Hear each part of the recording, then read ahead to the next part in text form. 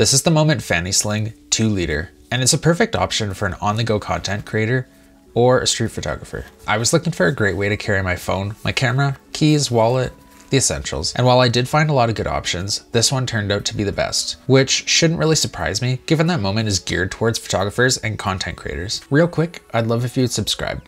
I have a small goal here of trying to hit a thousand subscribers, and it would mean a lot to me. Thanks. The sling is made from weatherproof recycled Kodra with a double layer waterproof coating to make it rainstorm proof. Super important because I want to know that I can be out with my camera and not stress about a little rain. Water resistant coating is pretty common in slings, but what drew me to this one specifically is the microfiber inner lining.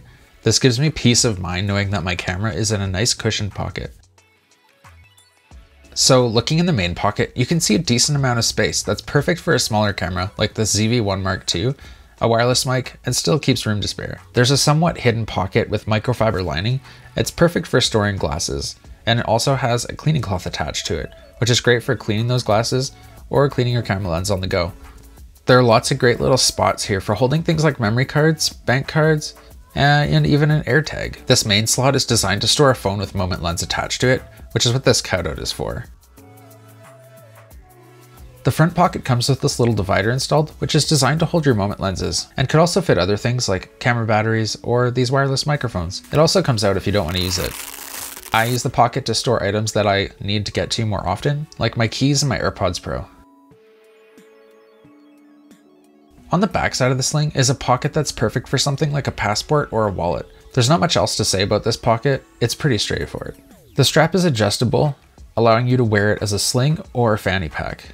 It's worth noting that it is pretty difficult to adjust, but if you don't plan on changing it, that's totally fine.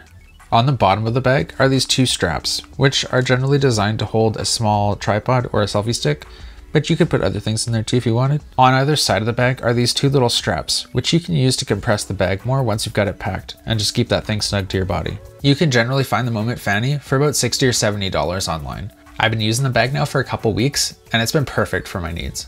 Alright, I hope you found that helpful. If you're looking for a light carry option as an on-the-go content creator or a street photographer, then the 2 liter Moment Fanny Pack is a great option for you. Thanks for watching. It wouldn't be a Moment review without iced lattes.